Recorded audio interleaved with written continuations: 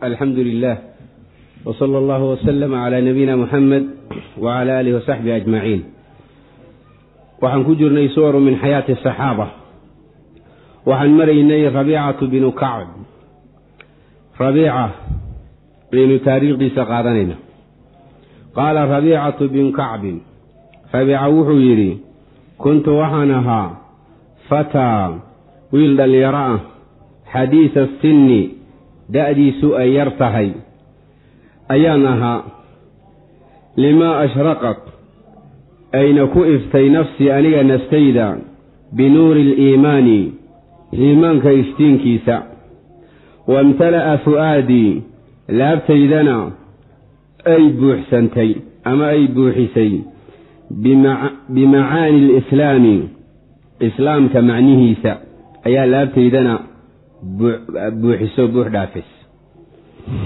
Walamaa goortii igtaxalad uu ku indho kuushay caynaaya labadayda indhood markii ay ku indho kuulatay bimar'a rasuuliillaahi rasuulka ilaahay aragtidiisa sala allahu calayhi wasalama naxariis iyo nabadgelya nebigeyna moxameda dushiisa allaha yeele awala maratin martii ugu horraysay oo aan nebiga arkay buu ka wadaa indhakuulashadaas axbabtuhu waan jeclaaday xubban jeceyl baan jeclaaday jeceylkaasoo malagka iga qaatay calaya aniga dushayda kulla jaarixatin xibin kasta kulligeed oo min jawaarixi min jawaarixi aniga xibnahayga ka mida yani xibin kastoo xibnahayga ka mida xubbiga jeceylkabaa iga hantay oo nebiga aan jeclaaday wa uulictu waa lay jeclaysiiyey bihi nebiga walacan jacayl kaasoo sarafanii iga leexiyey can kulli maa cadaahu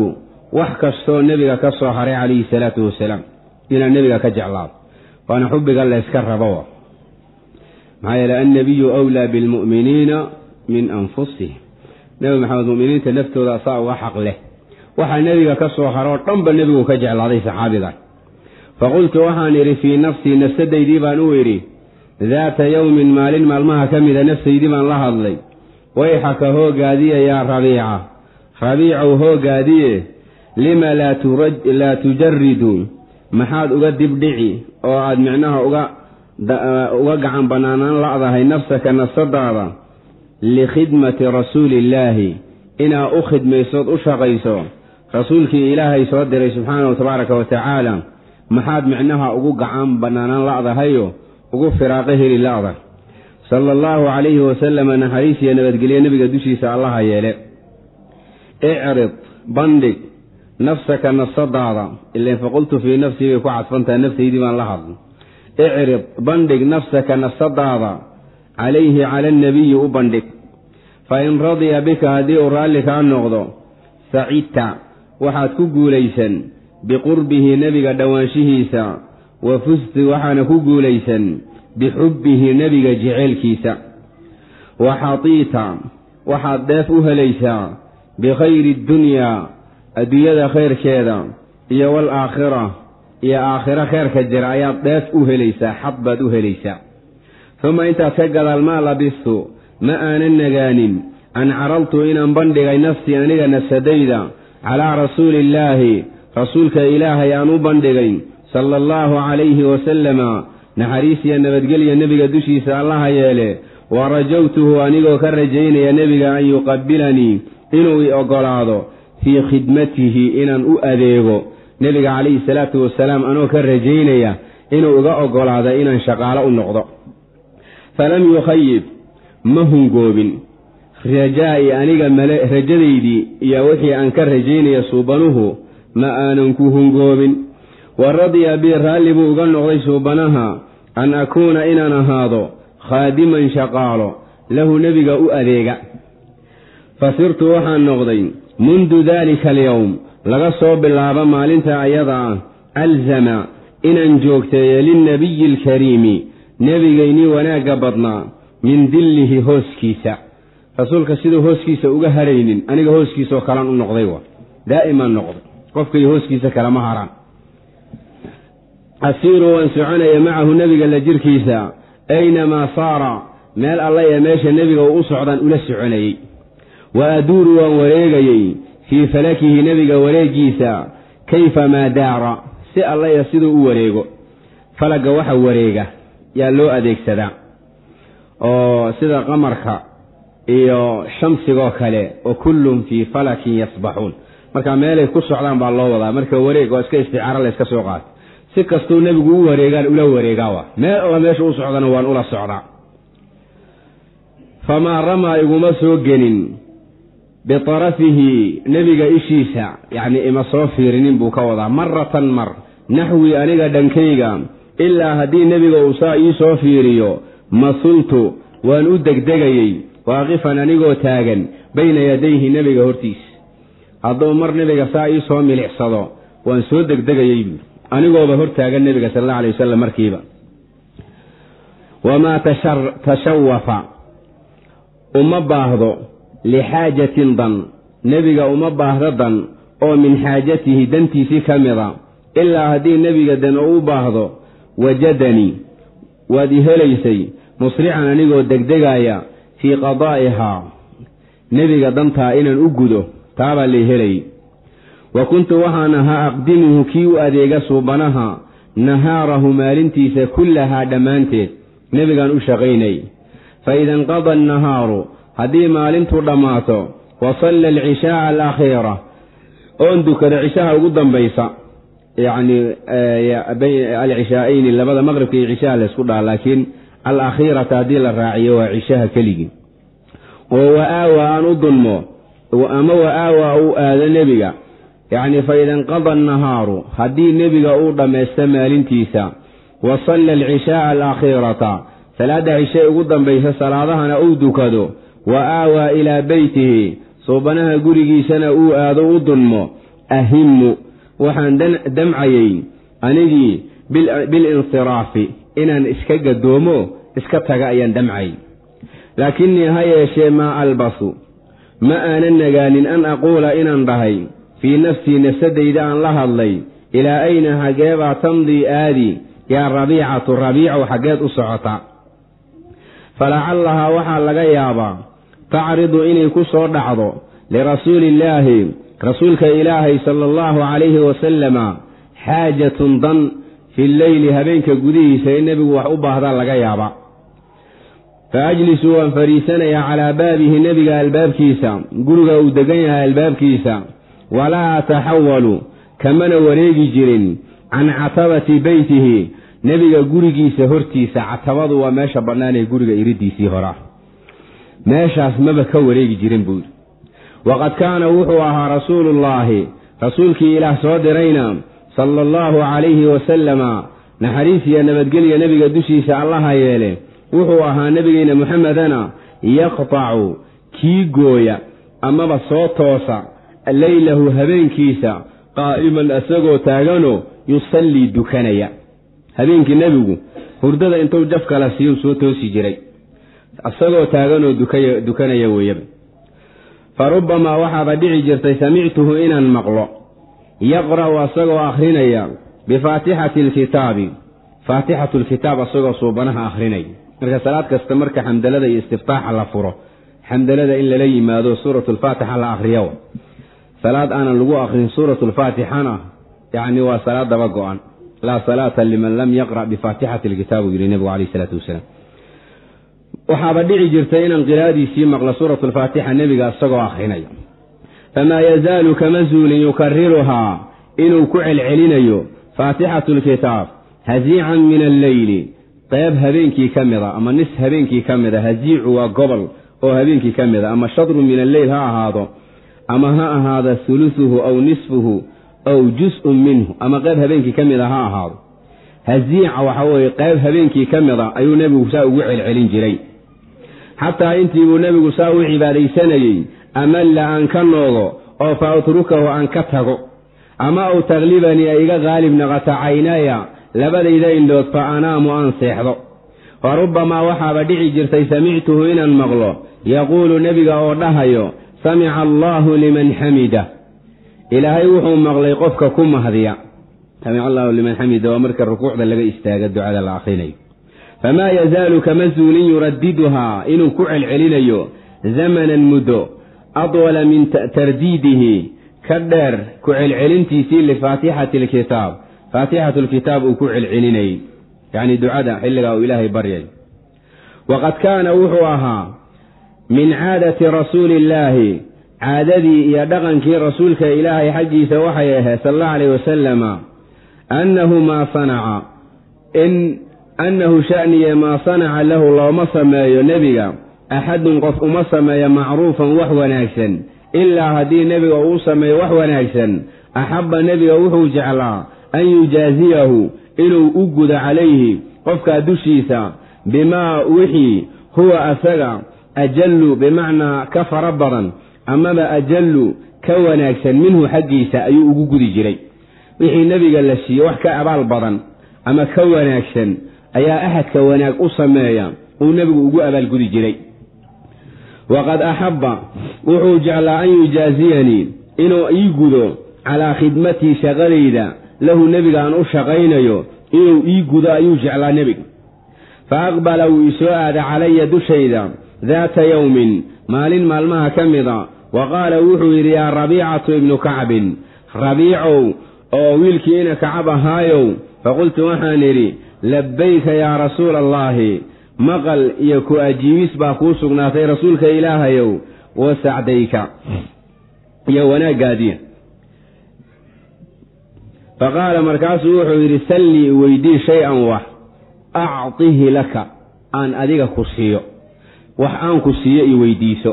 Waan ku ajiibay wanaaggaadiina waa badan yahaye waxa weeyaan kheerkaadu miduu badan yahay baa tahaye waxaa rabta markaa i weydiisuu nebigu yidhi calayhi salaatu wasalaam waan ku siinaya.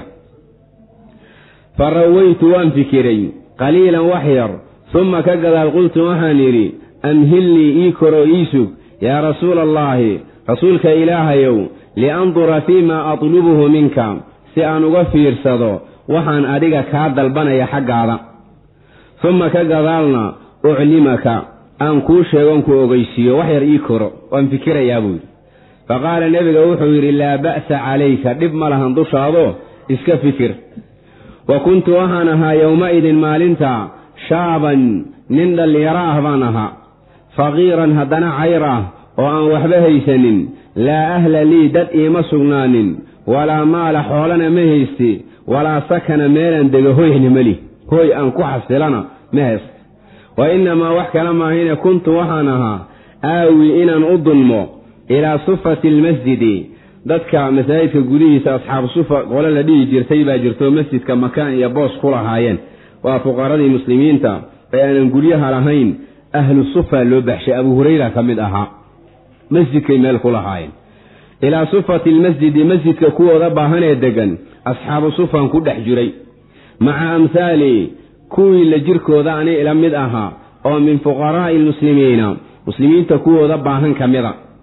Wa kaana annaasu dadku waxay ahaayeen yadcuunanaa kuwa noogu yeedha biduyuufi alislaami islaamka martidiisii waa dadkii daafaha dunida ka yimid ee soo islaamay ee danyarta ahaa ee aqalna aan madiine ku lahayn masaajidkay ku hoyan jireen.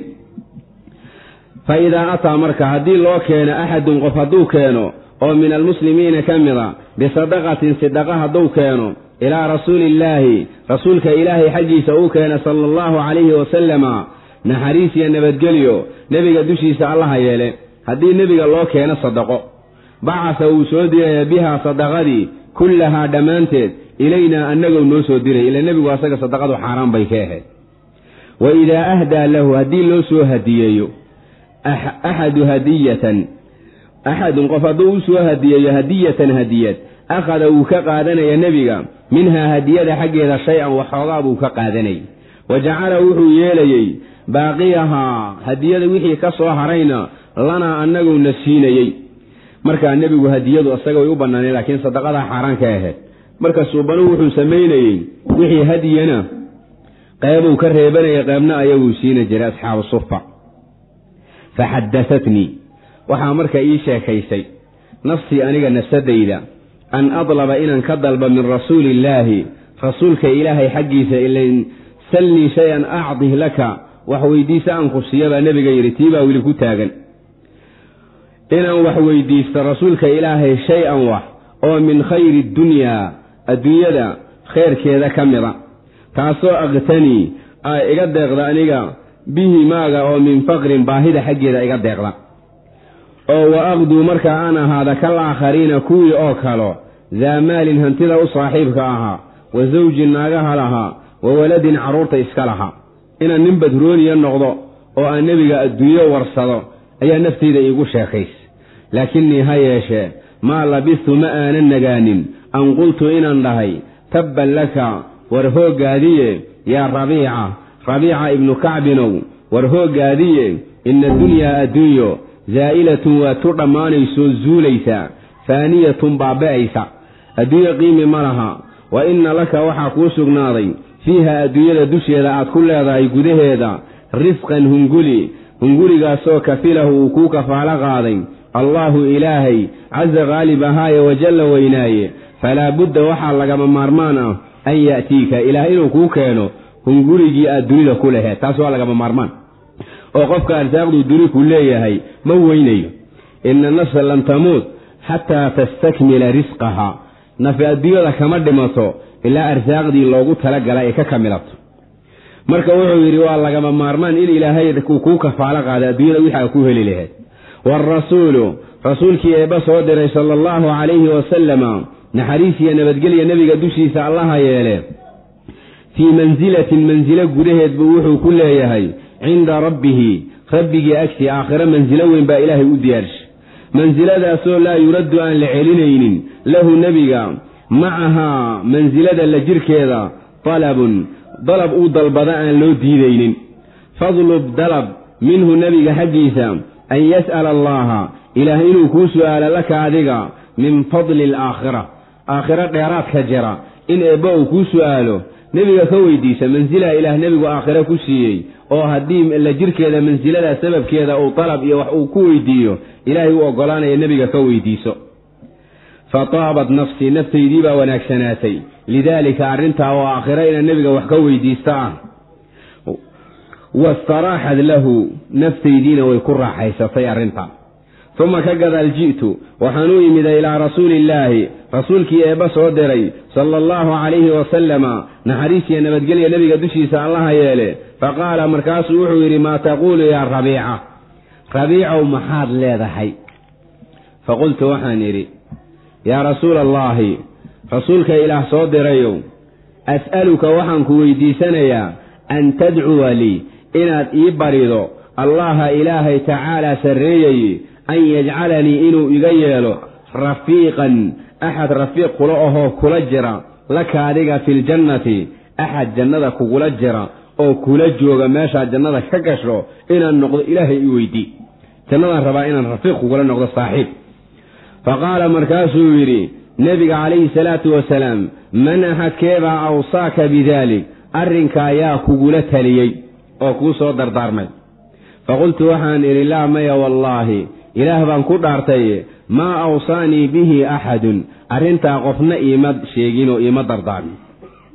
Oo qofna igulama talin walaakinaka adiga xiina goortii qulta aad tidhi lii aniga aad ii tidhi sallii iweydii uctika waan ku siinayaa xaddasadnii waxay iigu sheekaysa nafsii aniga nafsadayda an as'alaka shay-an inaan ku weydiisto wax oo min khayri dunyaa adduunyada wanaaggeedii ka mida tuma intaa ka gadaal maa labistu ma aanan nagaanin an hudiitu ilaa laygu hanuuniyey ilaa iisaari albaaqiya inaan doorto midda baaqiga noqonaysae aakhira cala alfaaniyati tan dhammaanaysa dusheeda aan ka doorto adduunyadan dhammaanaysa aakhira inaan ka doorto ayaa laygu toosiyey.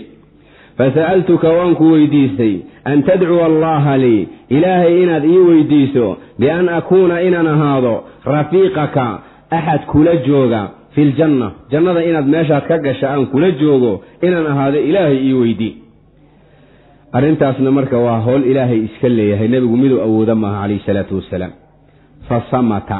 Nebigu waa aamusay marka. Rasuulullaahi rasuulkii ilaahay baa aamusay. Tawiilan muddo dheer buu aamus. Awa gayru daalika yaa rabiica? Rabiico waxaan arrintaa ahayn ma i weydiinaysaa. Waxaad i weydiin aakhira inaad igula rafiiqdo.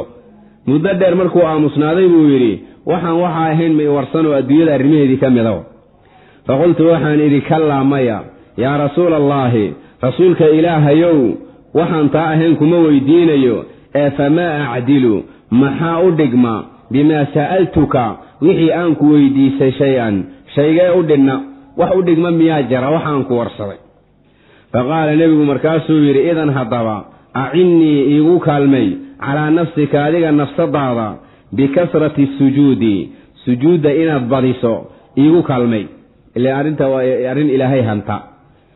Marka sujuudduna waa aqrabu maa yakuunu alcabdu min rabbihi wa huwa saajid. Addoonku markuu rabbigiis ugu dhow yahay waa markuu sujuudsan yahay. Waa ducadana waa la aqbalayaa uu yidhi nebigu calayhi salaatu wasalaam. Marka wuxuu yidhi inaad jannada igula rafiiqdo waxaad igu kaalmaysaa inaad sujuudda badiso. Fa jacaltu waxaan bilaabay anigii ad-abu inaan ku dadaalo filcibaadati cibaadada inaan ku dadaalo liaxtaa si aan u nasiibsadoon dheef ahaan ugu helo bimuraafaqati rasuuliillaahi rasuulka ilaahay inaan la joogoon la saaxibo sala allahu calayhi wasalama filjannati jannada gudaheeda kamaa sidii xataytu aan ugu guulaystay bikhidmatihi inaan u adeego iyo wa suxbatihi saaxiibtinimadiisa fi dunyaa adduunyada aan kula saaxiibay. Inaan haddana aakhiro helata ayaan waxaan ku dadaalay cibaadadii iyo sujuuddii nebiga uu dalbaday calayhi salaatu wasalaam qaala rabiicatu ibnu kacbin wuxuu yidhi kuntu waxaan ahaa fatan wiil dhallinyaro ah xadiisa sinni da'diisuna ay yar tahay baan ahaa lamaa ashraqad markii ay soo iftay nafsii nafsadayda ay ka soo iftay binuuri aliimaani iimaanka iftiinkiisa waimtala'a fu'aadii laabtaydana ay buuxsamisay bimacaani alislaami islaamka macnihiisana ay buuxsantay ayaa walamaa goortii igtaxalad walamaa goortii igtaxalad ay ku indha kuulatay. Caynaya labadayda indhood ay ku indha kuusheen. Bimacnaa ay arkeen bimar'a rasuulillaahi rasuulka ilaahay aragtidiisa sala allahu calayhi wasalama awala mara martii ugu horraysay yaan axbabtuhu nebiga jeclaaday. Markii ugu horraysaba suubanaha waan jeclaaday calayhi salaatu wasalaam. Xubban jeceyl baan jeclaaday. Jeceylkaasoo malaka iga qaatay calaya aniga dushayda kulla jaarixatin xibin kasta kulligii oo min jawaarixii xibnahaygii ka mida. Wa uulictu waa lay jeclaysiiyey bihi nebiga walacan jeceyl baa lay jeclaysiiyey. Jeceylkaasoo sarafanii iga leexiyey can kulli maa cadaahu wax kastoo nebiga ka soo haray calayhi salaatu wasalaam. Faqultu waxaan idhi fii nafsii nafsadaydii waxaanuu idhi daata yowmin maalin maalmaha ka mida wayxaka hooggaadiye yaa rabiicatu rabiicow hooggaadiye lima laa tujaridu nafsaka? Maxaad ugu gacan banlayn la'dahay nafsadaada likhidmati rasuuliillaahi maxaa jaanus ugu heli la'dahay inaad u shaqayso rasuulkii ilaahay sala allahu caleyh wasalama icrid bandhig weli naftiisuu la hadlayaa nafsaka nafsadaada calayhi cala annabiyi u bandhig fa in radiya hadduu raalli noqdo bika adiga rabiica uu kaa raalli noqdona sacidta waxaad ku guulaysan biqurbihi nebiga dhowaanshihiisa wa fusta wa fustu waxaana ku guulaysan bixubbihi jeceylkiisa wa xatiita waxaad dheef u helaysaa bikhayri dunyaa adduunyada dheefteeda iyo wanaaggeeda iyo waalaakhira iyo daarta aakhiree dambayso. Tuma intaad ka gadaal maa labistu? Ma aanan nagaanin. An carabtu inaan bandhigay nafsii nafsadayda calaa rasuuliillaahi rasuulka ilaahay inaan u soo bandhigay sala allahu calayhi wasalama wa rajawtuhu anigoo rajaynaya an yaqbalanii inuu iga oggolaado fii khidmatihi inaan u shaqeeyon u adeega nebiga. Falam yukhayib ma hungoobin. Rajaa'i aniga malahaydii aan ka qabay ama aan rajadii aan ka qabay nebiga xaggiisa ma hungoobin wa radiya bi raalli buu uga noqday suubanaha an akuuna inaan ahaado khaadiman shaqaalo lahu nebiga u shaqeeya. Fa sirtu waxaan noqday mundu daalika alyowm laga soo bilaabo maalinta ayada ah alzama inaan joogteeyey linnabiyi alkariim nebigaynii wanaagga badnaa min dillihi harkiisii ama hooskiisii. Inaan ahaado isaga lean daba taagnaado waan soconaya macahu nebiga la jirkiisa. Aynamaa saara. Meel allaya meeshuu u socdan u soconay.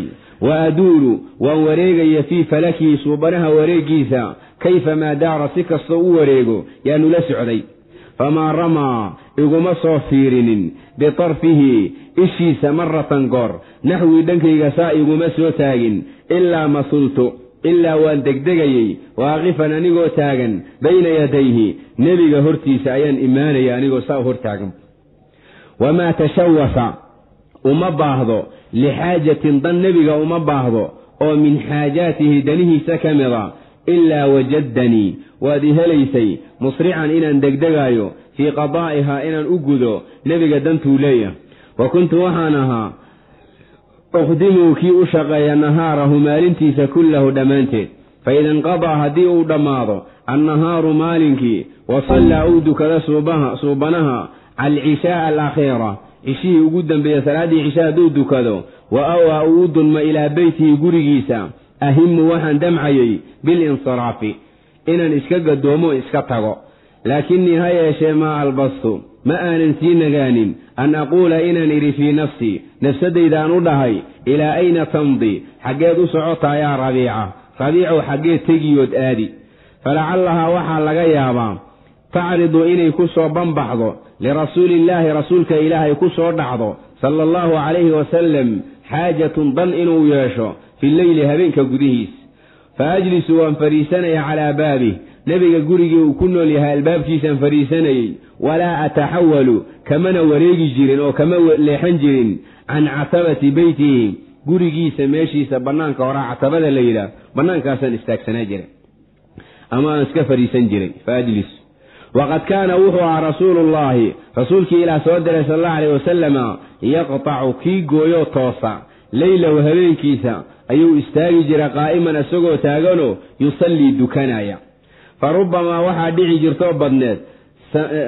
Samictuhu inaan ka maqlo suubanaha oo yaqra'u akhrinaya bifaatixati alkitaab famaa yazaalu kama zuulin yukariruhaa inuu ku celinaya nebiga hasiican qeyb oo min alleyli habeenkii ka mid a marna nisfa hore ka soo kacayey marna niska dambe marna bartamaha suluska leelka marna saddex qaybood qeyb.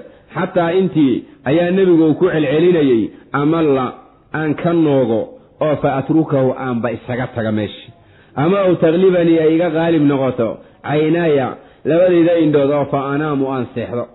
Fa rubbamaa waxaaba dhici jirtoo badnaa jirtay samictuhu inaan maqlay. Nebiga aan ka maqlay yaquulu asagoo dhahaya samica allaahu ilaahay wuu maqlay. Liman axad xamidahu ku mahdiyey ilaah wuu maqlay famaa yazaalu kama suulin yuradiduhaa inuu ku soo celcelinayo zamanan muddo adwala dheer min tardiidihi ku celcelintiisa samica allaahu liman xamida uu leeyahay ku celcelintiisa lifaatixati alkitaab uu ku naqnaqayey wax ka badan inuu ku celcelinayo.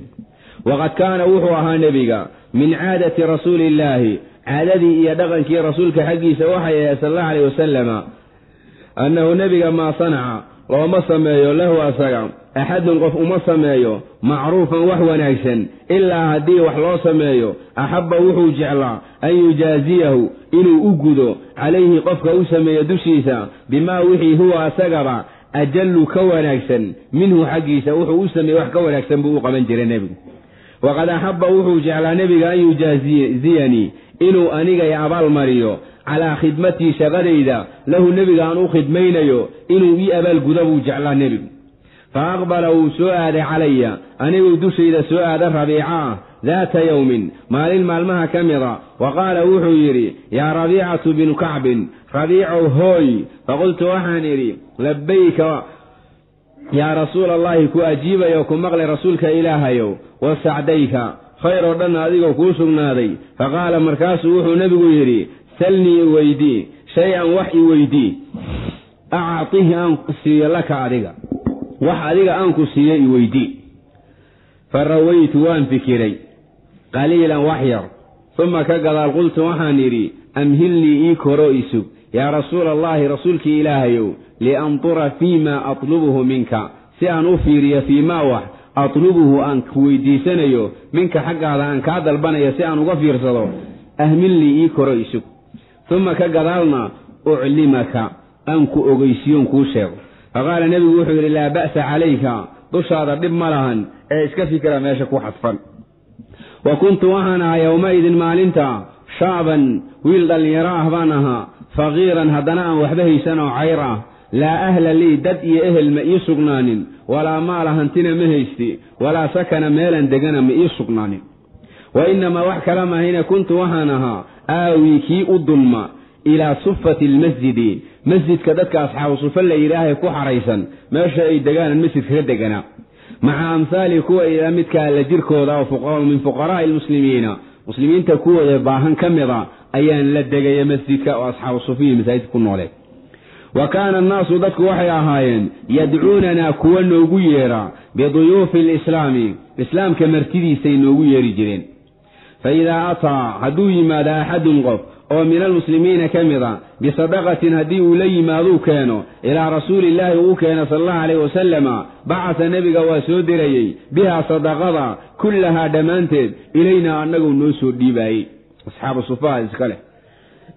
Ile nebigu xaaraan bay ka ahayd sadaqadu wa idaa ahdaa lahu haddii loo hadiyeeyo axadun qof hadiyatan hadiye haddii uu soo hadiyeeyo uu nebiga u keenana akhada nebiga waa qaadanayey minhaa hadiyada xaggeeda shay-an waxoogaa buu ka qaadanayey wa jacala wuxuu yeelayey baaqiihaa wixii harayna lanaa annaguu noo yeelayu na siinayey. Fa xaddahatnii waxay iigu sheekaysay nafsii aniga naftaydaa ii warrantay an adlaba inaan weydiistoon dalbado min rasuuliillaahi rasuulka xaggiisa shay-an wax oo min khayri dunyaa adduunyada wanaaggeedii ka mida taasoo akhtanii bihi aan uga deeqtoomoon uga kaaftoomo min faqrin ceernimada iyo baahida xaggeeda. Oo wa aqdu aan ahaada kal aakhariina kuwii oo kale kuwii daa maalin hantida u saaxiibka ahaa iyo wa sawjin xaasaska lahaa wa waladin carruurta iska lahaa dadkaa inaan markaa ka mid noqdo. Laakinnii ha yeeshee maa labistu ma aanan nagaanin. An qultu inaan idhi tabban laka hoogaadiye yaa rabiicatu rabiica ibnu kacabow hoog baa kuu sugnaaday walle haddaad nebiga adduunyo warsato. Maxaa yeelay ina addunyaa adduunyada zaa'ilatun tu zuulaysa weeye faaniyatun baaba'aysoo dhammaanaysa. Wa inna laka waxaa kuu sugnaaday fiiha adduunyada dusheeda gudaheeda aad ku leedahay risqan hunguri risqigaasoo kafilahu uu kuu kafaalo qaaday. Allaahu ilaahay casa qaalib ahaaye wajalla weynaaye. Falaa budda waxaa lagama maarmaana an ya'tiyaka. Eebba inuu kuu keeno dheeftii dunu lagugu talagalay. Waad helaysaa hood seegi maysa waarasuulu rasuulkii eebba soo diray sala allahu calayhi wasalama fii mansilatin mansilo gudaheed ayuu wuxuu ku leeyahay cinda rabbih rabbigii agtiisa. Mansiladaasoo laa yuraddu aan la celinaynin lahu nebiga macahaa mansilada la jirkeeda talabun talab la socdo nebigu mansiladaa ilaah uu ku weydiisto aad ku adigana kaga dalbato aanan la radinaynin fadlub weydiisa marka minhu nebiga xaggiisa an yas'ala allaha inuu eebba kuu su'aalo laka adiga oo rabiico ah min fadli alaakhira aakhiro dheeraadka jira inuu ilaah kuu weydiiyo nebiga weydiiso maadaama nebiga dheeraad fara badan ilaahay mansilo weyn uu aakhiro ugu diyaarsha fataabad way wanaagsanaatay nafsii aniga naftayda lidaalika arrintaaday ku wanaagsanaatay wastaraaxad lahu wayna raaxaysatay arrintaasay ku raaxaysatay uma ka gadaal ji'tu waan u tegay ilaa rasuulillaahi baan u yimid sala allahu alayh wasalama faqaala markaasa wuxuu nebigu yidhi maa taquulu yaa rabiica maxaad leedahay rabiicow faqultu waxaan idhi yaa rasuula allaahi rasuulka ilaahayow as'aluka waxaan ku weydiisanayaa an tadcuwa inaad ii barida lii aniga allaha ilaahay tacaalaa kor ahaaye an yajcalanii eebba inuu iga yeelo rafiiqan mid kula jira laka adiga filjanna jannada mid kugula rafiiqoo saaxiib kula ah oo kula jooga meeshaad janno ka gasha kaala galo ayaan rabaa ilaah inaad ii weydiiso.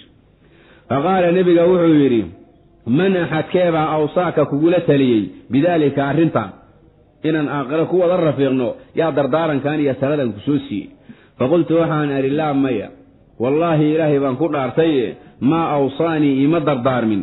Bihi arrintan axadun qofna iima soo dardaarmin oo igulama talin. Walaakinaka adiga muxamed calayhi salaatu wasalaam xiina goortii qulta aad tidhi lii aniga aad ii dhahday salnii weydii uctika waan ku siinayaa baa xaddasadnii. Waxay iigu sheekaysa nafsii aniga naftayda an asalaka inaan ku weydiiso shay-an waxoogaaho min khayri dunyaa adduunyada wanaaggeedii ka mida uma ka gadaan maa labistu ma aanan nagaanin an hudiitu in laygu hanuuniyo ilaa iisaali albaaqiya inaan doorto. Aakhirada baaqiga noqonaysa. Cala alfaaniyati midaan dhammaanaysa dusheedaee dunida ah. Inaan aakhira ka doorta. Ayaa eebba igu toosiyey fasa'altuka waan ku weydiistay suubani an tadcuwa allaha eebba inaad ii barida lii aniga bian akuuna inaan ahaado rafiiqaka mid kula joogo filjanna jannada mid kugula rafiiqo kula jira inaan noqdo inaa eebba ii weydiista arrintaa ayaan goost fa samata wuu aamusay rasuulullaahi rasuulkii ilaahay tawiilan muddo dheer buu aamusay nebigu calayhi salaatu wasalaam ilan mid lahanan kara maaha taa nebigu wuxuu islaa adduunya ku weydiinayaa wixii adduunya uu ku weydiiyo siibuu islaa ilan wiilkan aad buu nebiga u jeclaaday. Uma qaala intaa ka gadaal nebiga wuxuu yidhi awa gayru daalika yaa rabiica? Rabiicow arrintaas aad i weydiisto oo jannada inaad ila joogto waxaan ahayn miyaad i weydiin. Wax kale miyaad warsan. Faqultu waxaan idhi kallaa maya warsan maa yaa rasuula allah rasuulka ilaahayow famaa acdilu? Maxaa u dhigma bimaa sa'altuka wixii aan ku weydiiyey? Shay-an wax miyaa u dhigma? Wax u dhigma miyaa jira waa maya faqaala markaa nebiga wuxuu yidhi idan haddaba acinnii iigu kaalmay rabiica calaa nafsika nafsadaada bikasrati sujuudi sujuud fara badan iigu kaalmeeyo sujuudda badi fa jacaltu waxaan bilaabay ad-abu inaan ku dadaalo fi lcibaadati cibaadada inaan ku dadaalo liaxtaa si aan dheeftaa u helo bimuraafaqati rasuuliillaahi rasuulka ilaah oo lala joogo sala allahu calayhi wasalama filjannati jannada gudaheeda saaxib lagula noqdo si aan dheeftaa weyn u helo cibaadadii baan joogteeyoon ku dadaalay kamaa sidii xataytu aan dheef ugu helay bikhidmatihi nebiga inaan u shaqeeyo iyo wa suxbatihi saaxiibtinimadkiisa fidunyaa adduunyada gudaheeda. Uma intaas ka gadaal.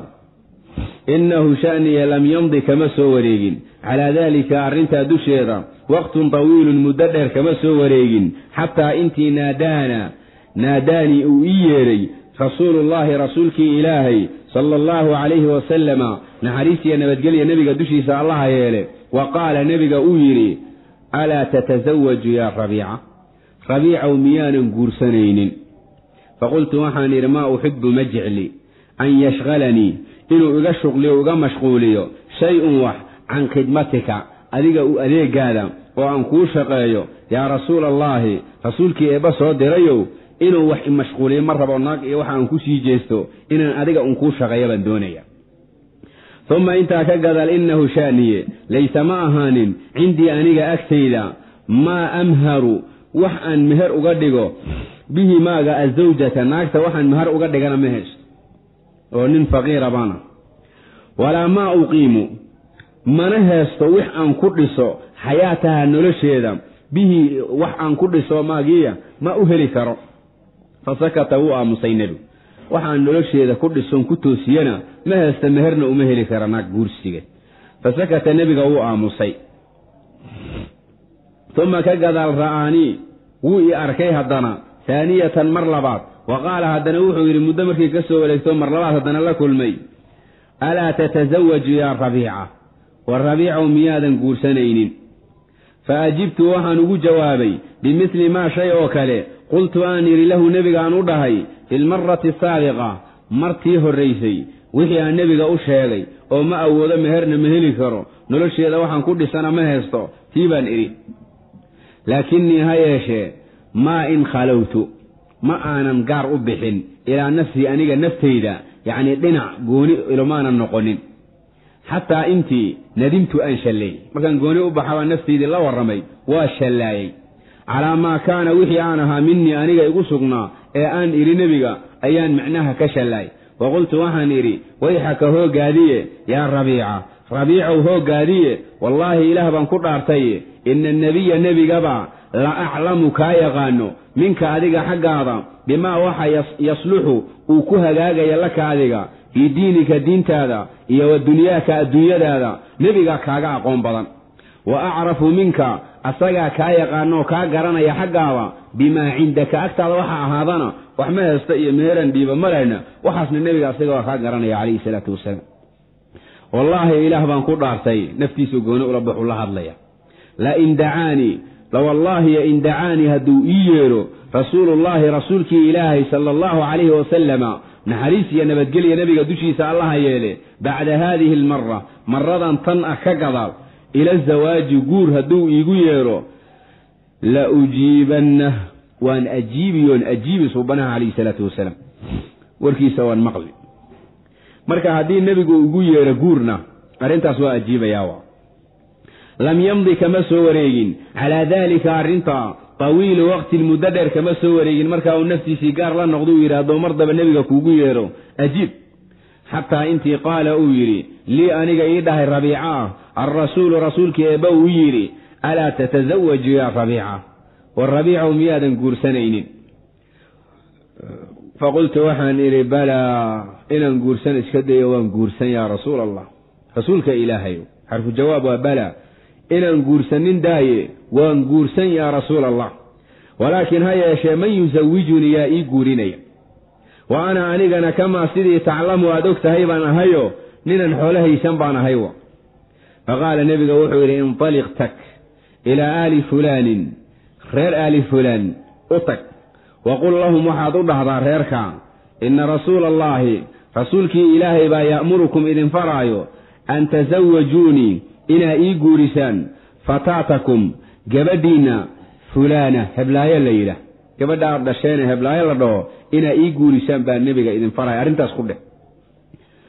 Fa aataytuhum waan u tegay reerkii calaa istixyaa'in anigoo xishoonayo xishood dushii ku socda. Wa qultu waxaan idhi lahum reerkii uu yidhi inna rasuula allaahi rasuulka ilaah sala allahu calayhi wasalama baa arsalanii isoo diray ilaykum idinka xaggiinna ayuu iisoo kiin diray. Litasawijunii saa iigu guurisaan fataatakum gabadhiinnii fulaana gabadhiinna heblaayo saa iigu guurisaan baa nebiga aniga isoo diray. Faqaaluu waxay dhaheen fulaana ma heblaaya faqultu waxaan idhi nacamha faqaaluu waxay dhaheen marxaban ha soo dhowaado. Birasuuliillaahi rasuulkii ilaah ee ku soo dira ha soo dhowaado. Wa marxaban ha soo dhowaado soo dhowow. Birasuuli rasuuliillaahi rasuulkii ilaah axadkuu soo diray adiga ahaana soo dhowow. Wallaahi eebbaan ku dhaaranaye laa yarjicu naqama ay celin mayno. Rasuulu rasuulillaahi. Rasuulkii ilaah rasuulkii uu soo diray noqon maayo. Ilaa wuxuu la noqonun ku celin. Bixaajatihi dantiisi u yimido. Gabadhii inaan u xirnaa wa caqaduu waxay ugu xidheen lii aniga calayhaa gabadhii dusheedana way igu mehriyeenoo way ii nikaaxiyeen. Fa aataytu waxaan u imid. Annabiya nebiga baan u imid salawaatu ullaahi wasalaamuhu calayhi. Naxariista eebba iyo nabadgelyada eebba nebiga dushiisa allaha yeele. Wa qultu waxaan idhi yaa rasuula allah rasuulkii ilaah soo dirayow laqad xaqiiqeeye ji'tu waxaan ka imid min cindi khayri beytin guri agtii oo guryaha midka ugu khayrka badan le xaggiisaan ka imid saddaquunii way rumaysteen. Wa raxabuu bi wayna isoo dhoweeyeen wa caqaduu li wayna igu xidheen aniga lii aniga calaa ibnatihim gabadhoodii marka nebigaa saas soo yidhi uu yidhi mayan ibeenin kow way rumaysteen waayna isoo dhoweeyeen caqdigiina way sameeyeenoo gabadhoodii waa igu dareen marka waxaan ka imiday guri khayr badan kiisa ugu qiimiga badan le agtiisaan ka imid fa min ayna aatiihim fa min ayna xaggeebaan aatiihim uga keeni bilmahri meher xaggee baan uga keeni fastadcaa wuxuu u yeedhay alrasuulu rasuulkii eebba soo diray buraydata burayda ibnualkhasiib ninka la yidhaah buu nebiga u wacay. Wa kaana burayda wuxuu ahaa sayidan madax buu ahaa oo min saadiati qowmi tolkaygii aan ka dhashay madaxdoodii ka mid a banii aslama qabiilada ayuu ka dhashay reer bani aslama la yidhaah ayuu hogaamiye u ahaa ninkaa la yidhaahdo burayda. Wa qaala wuxuu nebigu yidhi lahu burayda u yidhi yaa burayda buraydow ijmac u soo uruuri lirabiicata rabiica u soo uruuri wasna nawaatin laftimir wasankii ama qadarkii oo dahaban dahab ah lafta timirka qadar la egoo dahaba u soo ururi. Fa jamacuuhaa way soo ururiyeen lii aniga iu soo ururiyeen. Fa qaala wuxuu yidhi alrasuulu rasuulkii eebba soo diray lii aniga wuxuu ii yidhi oo rabiico ah sala allahu calayhi wasalama idhab la tag bi haadaa dahabkan ilayhim ehelkii xaggooda u gey gabadha kugu soo mehriyey oo ordo la aad waqul waxaad tidhaahdaa lahum reerkii aad u dhahdaa haadaa kan sadaaqu ibnatikum waa meherkii gabadhiinnii dheh oo meher ahaan u gey fa aataytuhum waan u tegey reerkii gabadha igu daray wa dafactuhu waan siiyey ilayhim xaggoodaan u taagay faqabiluuhu way iga aqbaleen wa raduuhu way raalli noqdeen wa qaaluu waxayna dhaheen kasiirun waa wax badan waxaad noo keentay tayibun wanaagsan alla maxaa ka wanaag badan? Wax wanaagsanoo badan baad noo keentay fa ataytu waxaan u tegay rasuula allahi sala allahu alayh wasalam waqultu waxaan idhi maa ra'aytu ma aanan arag qowman dad qatun weligay dad ma aanan arag akrama ka wanaag badan minhum reerkaa xaggooda gabadha aad ka guursa ay ile nebigu dadka aada u kala yaqiina calayhi salaatu wasalaam. Falaqad xaqiiqaye raduu raalli bay ku noqdeen maa acdaytum wixii aan siiyey calaa qilatihi maca qilatihi ayadoo lala qaba yaraanteeda wixii wax yar ayagoo ah ayaan haddana siiyey wa qaaluu waxay dhaheen kasiirun tayib waa wax wanaagsan bayna igu dheh. Famin ayna lii?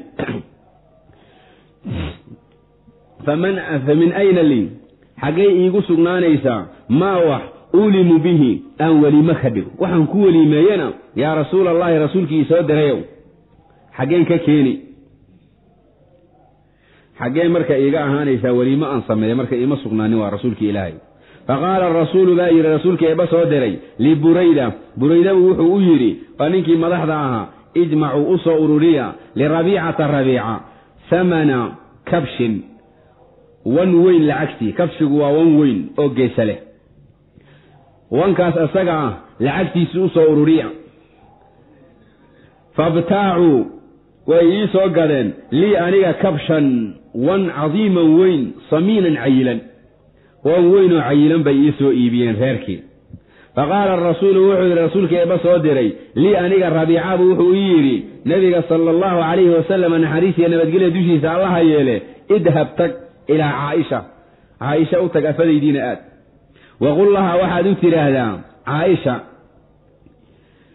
an tadfaca laka inay ku siiso. Maa cindahaa agteeda waxa ahaado min ashaciiri yacni shaciir ah baashii qamadiga fa ataytuha waan u tegey. Faqaalat waxay tidhi ilayka bimacnaa khud qaado almiktala dembiisha waxa ku suganba qaado. Fa fiihi waxaa ku sugan dembiishana sabcu usucin toddoba saac ayaa ku sugan. Sucu waa saac oo shaciirin oo qamadi ah. Laa wallaahi maye eebbaan ku dhaartaya maa cindanaa ma ahaanin طacaamun hayru raashin aan kaa ahayna nooma yaal. Wixii yiiloo dhan ay caaisha soo bixis. Toddoba saac markaa waxay heestaan oo shaciir oo qamadiya nebigu laba bil ah gurigiisa ay soo martay aswadayn aan ku noolayn ee caaisha laydaa labada madmado waa timir iyo biyo. Marka wixii yiilay toddoba saac bisaa tiiloo shaciir wixii bay siisa tacaam ama raashin wax lagu sheegaba agtayna wallaahi ilaah baan ku dhaartay maa cindanaa طacaamun hayra taa waxaan ahayn maba haysan faindalaqtu waan la tegey bilkabshi wankii yeesaha lahaa iyo washaciiri qamadiyii ilaa ahli zawjatii gabadhii aan guursaday dadkeedii baan la aaday. Faqaaluu waxay dhaheen ama shaciiru amaa baashaan galley ay aad keensatay qamadiga ah fa naxnu annagaba nucidduhu diyaarinayna. Annagaa khubuskii iyo muufadii ka dubayna. Amar asxaabaka dadkaada an yucidduuhu inay diyaariyaan laka adiga kuu diyaarshaan. Adna dadaa leedahe ehelkaada iyo dadkaada u gey wanka ayaga ha qaleen. Annagana baasha muufada xaafadayna lagu sameeya yani dad qiimi badan bay ahay arooska gurigaadana qayb hala siiya eheladaada wixii marka wanki ahay xagga ku soo qal annagana meeshaana baasha ku diyaarahayn fa akhadtu lkabsha waxaan qaatoon watay neefkii micnaha geesaha lahaaye wanka ahaa ana aniga iyo wannaasun dad oo min aslama qabiiladii aan ka dhashay reer aslama ka mid a fa dabaxnaahu kabshigii baan gowracnay wa sallaqnaahu maqaarkii baan ka siibnay wa dabaqnaahu waan karinnay fa asbaxa wuxuu ahaaday cindanaa agtayna waxaa ahaaday khubsun muufo iyo wa laxmun hilib. Fa awlamtu marka weliimo baan dhigay wa dacawtu waxaan u yeedhay rasuula allaahi rasuulkii eebbe sala allahu calayhi wasalama naxariisiya nabadgelyo nebiga dushiisa allaha yeele yacni martisoorkii iyo arooskii khidmadii wixii dhallaan isku aadiyo. Fa ajaaba dacwatii yeermadaydii wuu oggolaaday suubanaha uu ka soo qayb galay calayhi salaatu wasalaam. Nebiga marka wuxuu ka soo qayb galay yarxamumkallah qaniimadii yacni weliimadii uu dhegtay saxaabigaas qiimiga badan leh.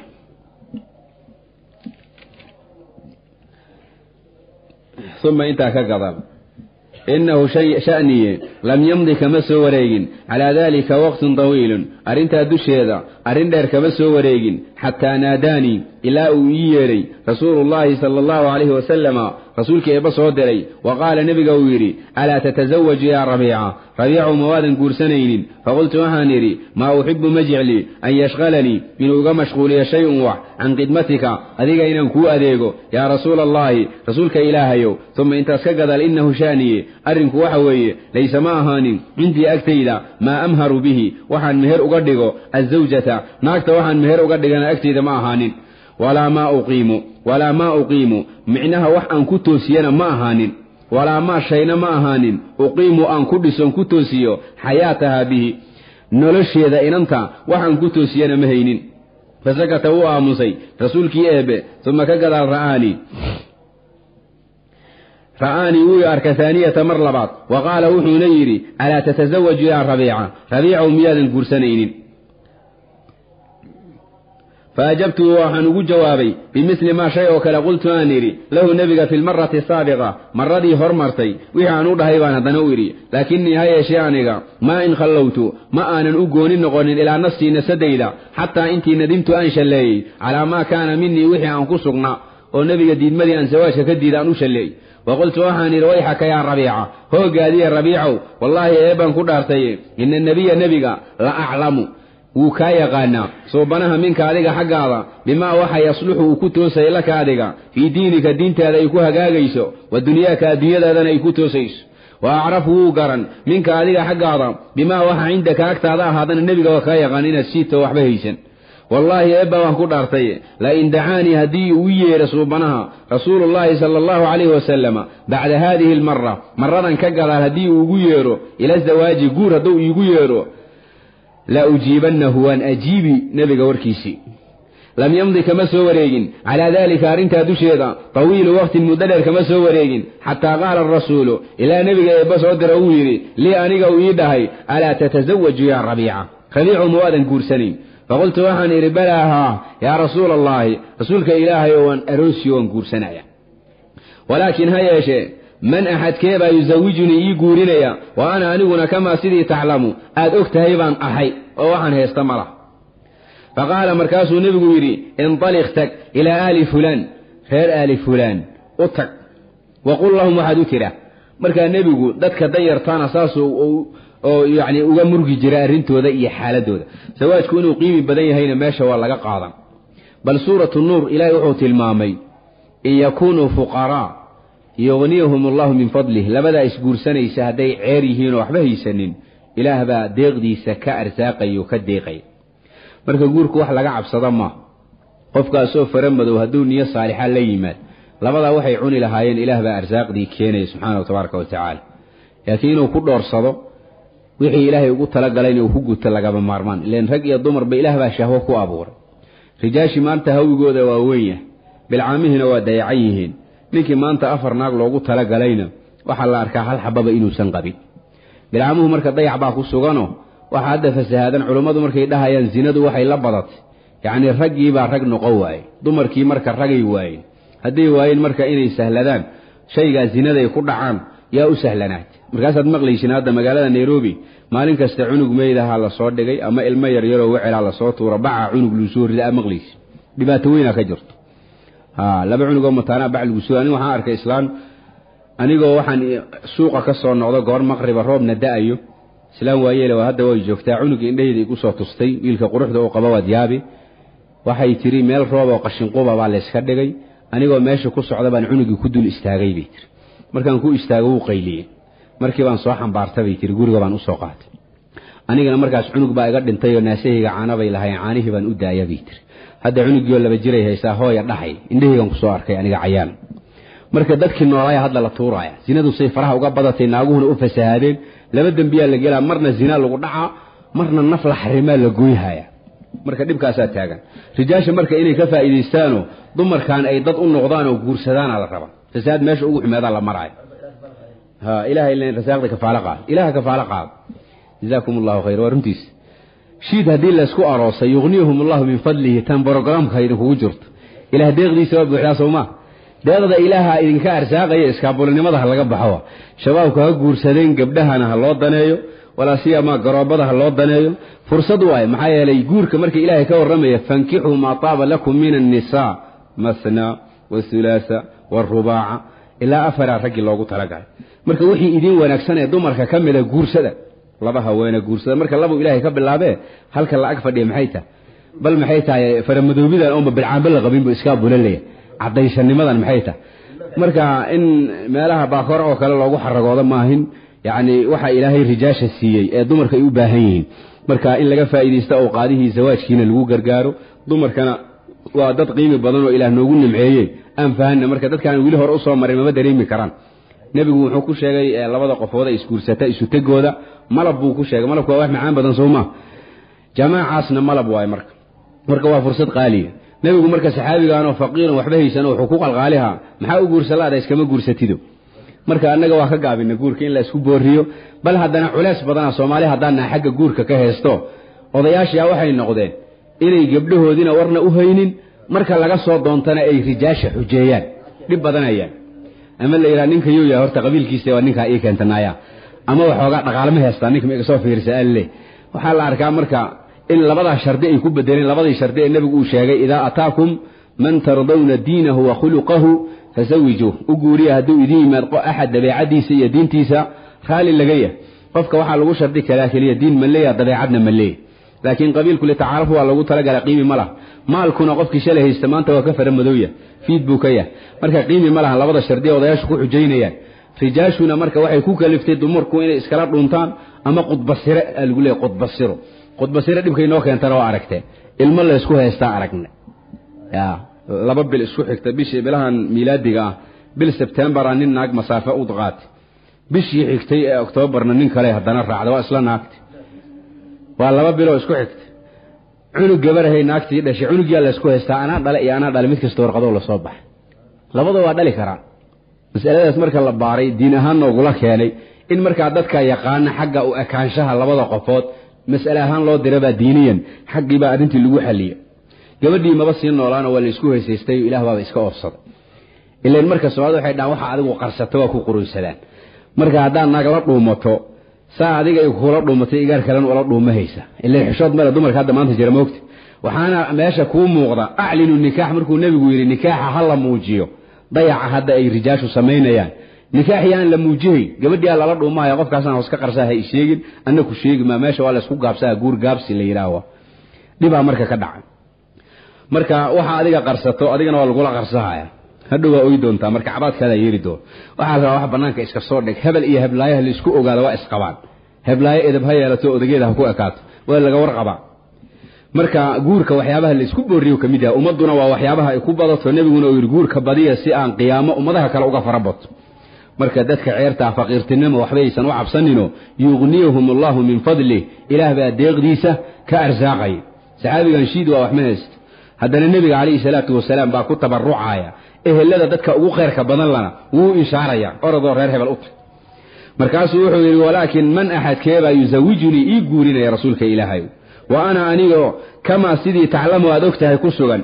Faqaala wuxuu yidhi inطaliq tag ilaa aali fulaanin reer aali fulaan u tag. Waqul lahum waxaad u tidhaahdaa ina rasuula allaahi rasuulkii ilaah soo diray baa ya'murukum idin faraayo an tasawajuunii inaad ii guurisaan oo fataatakum gabadhiinnii aad ii guurisaan fulaana heblaayo ah fa ataytuhum reerkii baan u tegey calaa istixyaa'in xishood dushii anigoo ku socda waa nin xishoonay faqultu waxaan yidhi lahum reerkii u yidhi ina rasuula allaahi rasuulkii ilaah soo diray sal allahu alayh wasalam baa arsalanii isoo diray ilaykum idinka xaggiinna litasawijuunii saa iigu dartaanoo iigu guurisaan fataatakum gabadhiinna fulaana heblaayo ah faqaaluu waxay dhaheen fulaana heblaayo miya faqultu waxaan idhi nacamha faqaaluu waxay dhaheen marxaban ha soo dhowaado birasuuliillaahi rasuulkii eebba soo diray wa marxaban soo dhowaaw birasuuli rasuulillaahi rasuulkii ilaahay axadkuu soo dirayna ha soo dhowaado adigana noo soo dhowaaw marka saxaabadu say u tixigelin jireen nebiga calayhi salaatu wasalaam wuxuu faro ayaa meesha ka garanaysa oo amarna aysan nebiga ku caasin jirin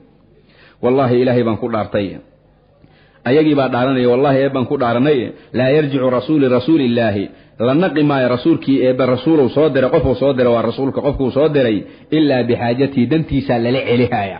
In loo dhammeeyo hawshiisa wa caqaduu way igu xidheen lii aniga calayhaa gabadha dusheeda igu nikaaxiyeen faataytu waxaan u imid annabiyu nebigii baan u imid salawaatu ullaahi wasalaamuhu calayhi wa waxaan idhi yaa rasuula allahi laqad ji'tu waxaan ka imiday min cindi khayri beytin gurikiisa ugu khayr badan agtiisaan ka imid sadaquunii way rumaysteen warkii aan u sheega nebi maxamed baa isoo diray kow waa ay rumaysteen waraxabuu bi wayna isoo dhoweeyeen aniga wa caqiduu way igu xidheen lii aniga calaa ibnatihim gabadhoodana way igu meheriyeen markiiba fa min ayna aatihim xaggee baan uga keeni bilmahri meher ah xaggee baan uga keenaya. Fastadcaa wuxuu u yeedhay alrasuulu rasuulkii eeba soo diray buraydata ibnu ninkii la dhahayey wa kaana buraydana wuxuu ahaa sayidan nin hogaamiyaha oo madax ah oo min saadaati qowmi qabiiladayda hogaamiyaalkoodii ka mid a bani aslama la dhahaya reer aslama wa qaala wuxuu nebigu yidhi lahu burayde u yidhi yaa burayda buraydow ijmac u soo uruuri lirabiicata rabiica u soo uruuri wasna nawaatin laftimir culayskii oo dahaban dahab ah fa jamacuuha way ii soo ururiyeen lii aniga laftimirkii jamic culayskiisii la eg fa qaala lii wuxuu ii yidhi aniga alrasuulu rasuulkii eeba sal allahu aleyh wasalama idhab la tag bi haada dahabkan ilayhim ehelkii xaggooda u qaad waqul lahum waxaad u tidhaahdaa haadaa dahabkan sadaaqu ibnatikum gabadhiinnii meherkeedii wa fa ataytuhum waan u tegey wa dafactuhu waan siiyey ilayhim xaggooda faqabiluuhu way iga aqbaleen waraduuhu raalli bay ku noqdeen wa qaaluu waxay dhaheen kasiirun tayibun waa badan yahay waana wanaag badan yahay faataytu waxaan u tegey rasuula allahi sal allau aleyh wasalama wa qultu waxaan idhi maa ra'aytu ma aanan arag qowman dad qadtun weligay akrama minhum ka darajo fiican oo ka wanaag badan reerkaa xaggooda falaqad xaqiiqeeye raduu raalli bay ku noqdeen maa wixii acdaytuhum aan siiyey calaa qilatihi maca qilatihi ayadoo lala qaba yaraanta waxaan u wadashay u yaraayeen wa qaaluu waxay dhaheen kasiirun waa wax badan tayibun wanaagsan fa min ayna lii xaggeebay iiga ahaan maa uulimu bihi waxaan weliimo uga dhigo xaggeen ka helaya haddana yaa rasuula allaahi rasuulkii ilaah soo dirayow faqaala arasuulu wuxuu yidhi rasuulka eeba soo diray liburayda wuxuu u yidhi ijmacuu soo ururiya lirabiicata u soo ururiya samana kabshin wan weyn lacagtii u soo ururiya fabtaacuu way ii soo gadeen. Lii aniga kabshan wan geesa leh cadiiman weyn samiinan cayilan faqaala lii wuxuu ii yidhi alrasuulu rasuulkii eeba sal allahu aleyh wasalama idhab wad ama idhab tag ilaa caaisha. Caaishana u tag. Waqul lahaa waxaa caaisha u tidhaah an tadfaca laka inay ku soo siiso kuu soo dhiibto. Maa cindahaa agteeda waxa ahaado min ashaciiri qamali ah faataytu aan u tegey faqaalad waxay tidhi ilayka qaado almiktala dembiisha fa fiihi waxaa ku dhex jira dembiisha sabcu usin toddoba saac ayaa ku sugan yacni waa iska toddoba koombo badar oo shaciirin qamadi ah laa maya wallaahi ilaah baan ku dhaartay bay caaisha tidhi maa cindanaa agtayna ma ahaanin طacaamun raashin hayruhu aanan waxa ahayn shaciirta waxaan ahayn agtayna ma yaalin faindalaqtu waan la tegey bilkabshi wankii geesaa lahaa washaciiri qamadigii baan qaaday ilaa ahli zawjatii gabadhaydii aan guursaday ehelkeedaan u qaaday. Faqaaluu waxay dhaheen ama shaciiru qamadiga fa naxnu annagaba nucidduhu diyaarinayno annagaa ka samaynayno muufo ka dubayno wa ama alkabshu wankana famur amar asxaabaka ehelkaada iyo dadkaada an yucidduuhu inay kuu diyaariyaan laka adiga faakhadtu lkabsha wankii geesa lahay baan qabtay ana aniga iyo wannaasun dad oo min aslama qabiilada reer aslama ka mida fadabaxnaahu kabshigii baan gowracnay wa sallaqnaahu maqaarkii baan ka siibnay wa tabaqnaahu waan karinay fa asbaxa cindana agtayna waxaa ahaaday khubsun muufo iyo walaxmun hilib fa awlamtu marka weliimadii baan sameeyoon dhigay wa dacawtu waxaan u yeelay rasuula allaahi rasuulkii eebba soo diray sala allahu aleyh wasalama faajaaba dacwatii yeermadaydiina wuu ajiibay nebiga oo weliimadiiba nebiga ka qayb galay calayhi salaatu wasalaam marka qofka hadduu heli karo uulim walow bishaatin waxaan ku marnay cabdiraxmaan ibni cawf marka la guursanayo walow neef ariba allah ka dhiga wax bire qofka afdal waxaa ah inuu wax gowraco hadduu heli karo hadduusan heli karinna inuu xataa goob koob biyaa iyo wax la iyo qaniimo dhalla meesha inay ka dhacdo haddii wax la heli karo haddii wax la waayana laa ba'sa biidni illahi tabaaraka wa waxa waaye fattaquu llaha ma stadactum qofka intuu awoodo inuu ilaahay ka cabsado waxaa arkaya laba fuqaroon waxba haysanin ee sidaa isku guursanayo oo waxay wax ku baxshaanba aan heli karayn haddana ilaahay uu barakaynayo subxaana wa tacaala. Buux waa aaday u fara badan yihiin ilahayna ha isu barakayn intay isguursatay wanaag isu marta inta weli iskaa buladaana ha isguursadaan waktigaa ka faa'idaysteen uma intaas ka gadaala ina rasuula allaahi rasuulkii ilaah soo diray sala allahu alayh wasalama baa manaxani wuxuu isiiyey ardan dhul baa nebiga isiiyey ilaa jaanibi ardi liabi bakrin. Dhul u dhow oo dhinac ka saaran abubakar dhulkiisa. Abubakar dhul uu iska lahaa dhul ku dhegan baa nebiga isiiyey fa waxaa soo gashay calaya dushayda addunyaa adduunyaaba ii soo gashay waa kanaa guurka hadduu guursadaba addunya iska daba timid. Maxaa yeelay yugniyahum allahu min min fadlih ilaah baa deeqdiisa ka arsaaqay. Xaqiiq waa wax la arkay xataa intii innii aniga ikhtalaftu aan khilaafay maca abi bakrin abubakar la jirkiisa calaa naklatin geetimir aan abubakar isku mandhaafnay. Faqultu waxaan idhi hiya geetimirka fii ardii dhulkaygii ku taalla. Faqaala abuubakarna uu yidhi bal kuma taalle hiya geetimirka fii ardii anigay booskayga ku taallaa fanaasactuhu waan dooday oo abuubakarkii baan la murmay. Fasmacanii wuxuu i maqashiiyey kelimatan eray kelimadaasoo karihtuhaa aan nacay kelimo aan dhibsaday oo hadal kulul ah yaa abuubakar i maqashiyo ugu yidhi falammaa badarad markii ay ka soo muuqato ka soo baxday minhu abuubakar xaggiisa alkelimatu warkii nadima wuu qoomamooday. Calayha cala alkelima warkii ugu yidhi dusheeda u qoomamooday. Wa qaala abuubakar wuxuu yidhi yaa rabiica rabiicow rudda calaya rudda jawaab calaya aniga dushayda mislahaa kelimada oo kale iigu soo jawaab. Xataa intii yakuuna aan ahaado qisaasan mid looga qisaastay kelimadii. War xun baad i tiri war xun iigu jawaab. Wa jasaau sayi'atin sayi'atu misluhaa. Xumo abaalkeeda xumo leh waay ee marka tii oo kale iigu soo jawaab. Ayuu yidhi faqultu waxaan idhi laa maya kuugu jawaabi maa. Wallaahi ilaahay baan ku dhaartaye. Laa afcalu samayn maayo wuu dhaartay. Faqaala wuxuu yidhi marka idan haddaba aatii waxaan u tegi buu yidhi abubakar baa dhahaya rasuula allaahi baan aadayaa sala allahu calayhi wasalam wa ashkuu ilayhi wa ashkuu waana dacwoonayaa. Ilayhi ila nabiyi baan u dacwoonayaa. Imtinaacaka diidmadaada can ilikhtisaasi inaad iga qisaasato minii xaggayga aad iga aargudato hadalkii kulolaaye xumay aan ku dhahay. Oo kale inaad idhahdo diidmada aad diiday nebigaan u tegaya marka isaga wuxuu u qabay inuu iska kaftamayo abubakar laakiin daacad bay ka ahayd abubakar waa saaxibu rasuuliillah hadal kululna waa ka fakaray waindalaqa wuu tegay abubakar. Ila nabiyi buu aaday. Famadaytu waan tegey buu yidhi fii isrihi. Abubakar raadkiisaan daba qaaday. Isaga waxaan u qabaya marka inuu iska kaftamaye nebigu toos ugu tegay anna waan daba soco. Fatabacnii waxaana soo raaca qowmii tolkay baa isoo dabagala banuu aslama ahaa baana soo raacay. Wa waxay dhaheen huwa kan alladii kii wa abubakar bay ku wadaan. Oo bada'a bilaabay bika adiga kugu bilaabay warka oo fashatamaka ku caayay. Hadalkii kelimadii kulaleed bay u inshaarayaan dulmiyay raba inay ka shaqeeyaan reerka uma ka gadaalna yasbiquka wuxuu kaaga hormari ilaa rasuuliillaahi rasuulka ilaah xaggiibuu kaaga hormari sal allahu alay wasalama oo fa yashkuuka uu kaa dacwoon adiga. Faltafattu waan fiiriyey. Ilayhim qabiiladaydan saa u soo milicsaday reer bani aslam. Faqultu waxaan idhi wayxakum hooggiinniye atadruuna ma taqaaniin man axadka haadaakan uu yahay ma garanaysin axadkan aad leedihiin waa uu ku caayay haddana nebigu kaaga hormaraya miyaa taqaanin haadaa axadkan alsidiiqu waa run badanihi waa ninkii nebi maxamed rumeeyey sidiiq ah warkiisa maba haysiin wa wa duu shaybati lmuslimiina muslimiinta axadkii ugu cirada badnayna waa shayba waa nin waayeela irjicuu laabta qabiiladayda haddii aad tihiin qabla an yaltafita intuusan idin soo milicsanin oo fa yaraakum uusan idin arag noqda iska laabta oo fa yadunna uu u maleeyo annakum idinka. Inamaa wax kalane inamaa wax kala maahine. Ji'tum inaad u timaadeen. Lituciinuunii inaad ii kaalmaysaan. Calayhi abubakar dushii aad iga kaalmaysaan.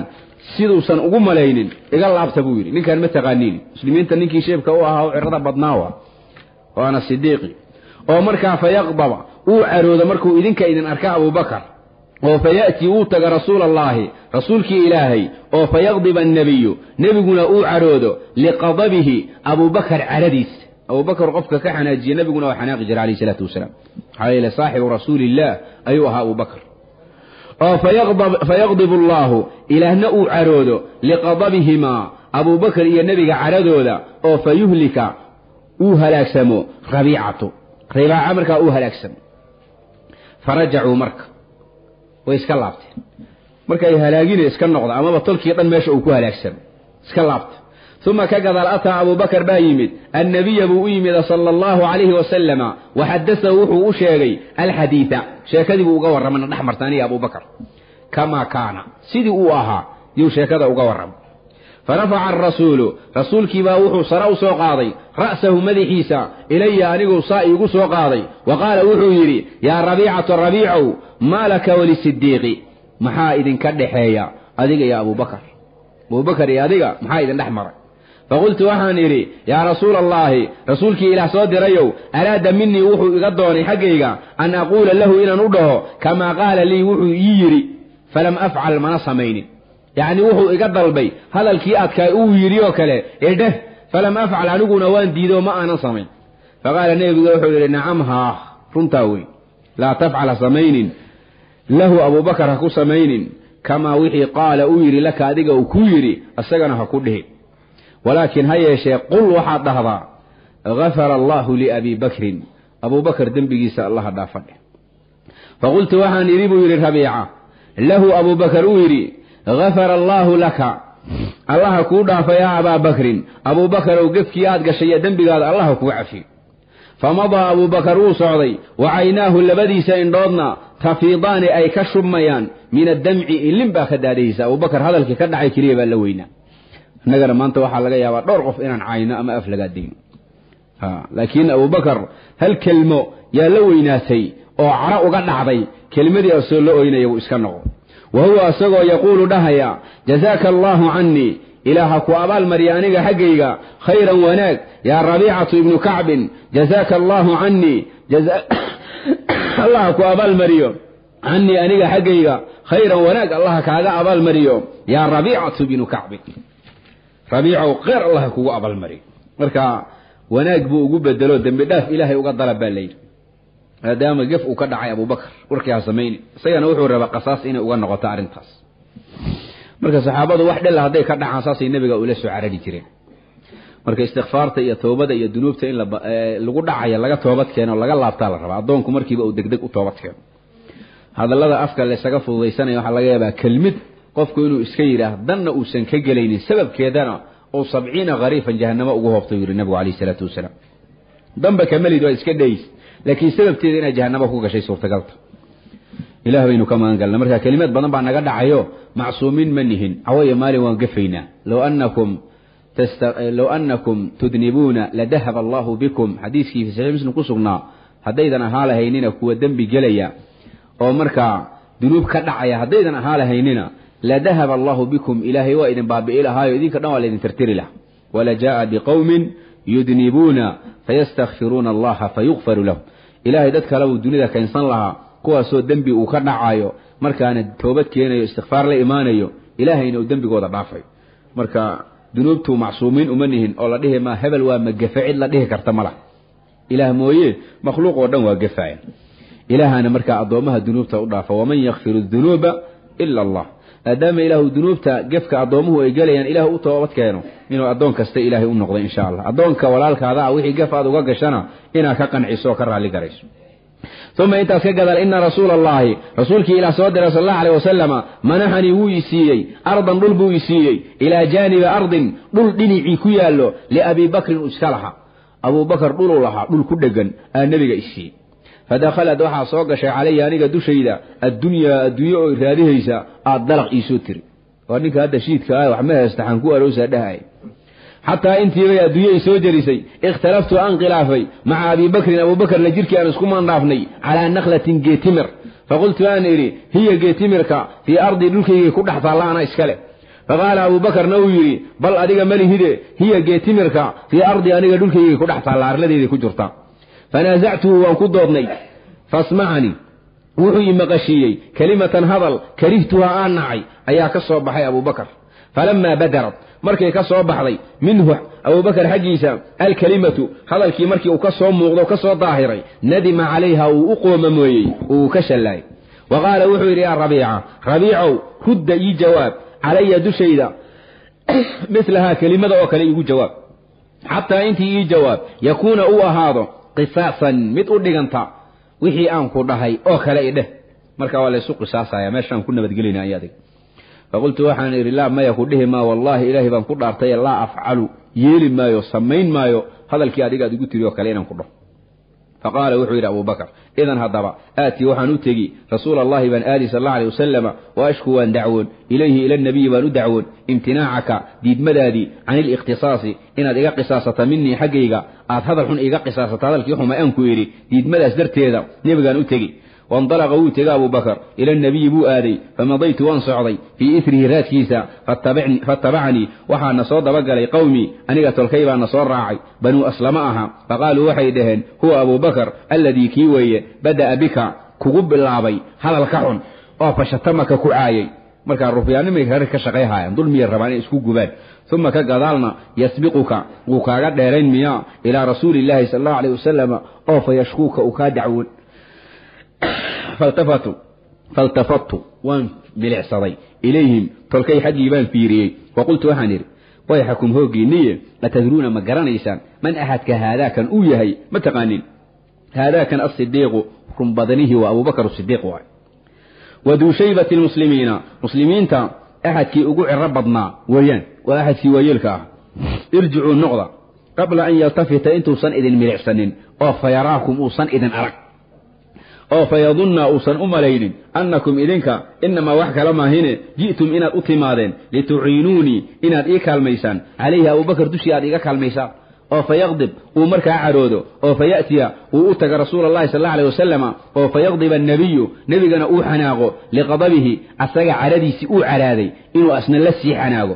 Oo fayaqdib allaahu ilaahna uu caroodo liqadabihimaa nebiga iyo abubakar caradooda oo fayuhlika uu halaagsamo rabiicatu rabiicana uu halaagsamo. Farajacuu marka way noqdeen uma ka gadaal ataa abubakrin abubakar baa wuxuu u yimiday annabiyu nebigii sal allahu aleyh wasalama waxadasa wuxuu u sheegay alxadiida sheekadii buu nebiga u sheegay kamaa kaana siday ahayd buuna ugu warramay farafaca arasuulu rasuulkiibaa sare u soo qaaday ra'sahu madaxiisa ilaya aniga xaggayga wa qaala wuxuu yidhi yaa rabiicata rabiicow maa laka walisidiiqi maxaa idinka dhexeeya adiga ya abubakar sidiiq faqultu waxaan yidhi yaa rasuula allaahi rasuulkii ilaahayow araada wuxuu doonay minii aniga iga doonay abubakar an aquula lahu inaan u dhaho abubakar kamaa qaala lii sidii uu ii yidhi oo kale falam afcal ma samaynin faqaala markaasuu nebigu u yidhi nacam haa laa taqul ha dhihin lahu abubakar ha u dhihin kamaa sidii qaala uu yidhi laka adiga uu ku yidhi abubakar ha u odhan walaakiin ha yeeshee qul waxaad dhahdaa gafara allaahu ilaah ha dhaafo liabii bakrin ha u dhaafo. Allah abubakar dembigiisa u dhaafa dheh faqultu waxaan idhi lahu abubakar uu yidhi gafara allaahu laka allaha kuu dhaafa yaa abaa bakrin abuubakarow gefkaada allah kuu dhaafo famadaa abubakar wuu tegey wa caynaahu labadiisa indhoodna tafiidaani ay ka shubmayaan min addamci ilin ay ka daadanayso wa huwa abubakar oo yaquulu dhahaya jazaaka allaahu allaha kugu abaalmariyo. Cannii aniga xaggayga khayran wanaag allaha kaaga abaalmariyo. Yaa rabiicatu bin kacbin rabiicow khayr allaha kugu abaalmariyo. Jazaaka allaahu allaha ku abaalmariyo. Cannii aniga xaggayga khayran wanaag allaha kaaga abaalmariyo. Yaa rabiicatu bin kacbin rabiicow khayr badan allaha kugu abaalmariyo. Marka wuu u duceeyey abubakar asaga haddii dembi dhaaf ilaah loo weydiiyey hadalkii ka dhacay sababkeeda suubanuhuna u amray asagana wuu u duceeyey. Washakara allah xusna istimaacikum wallahu yaquulu alxaq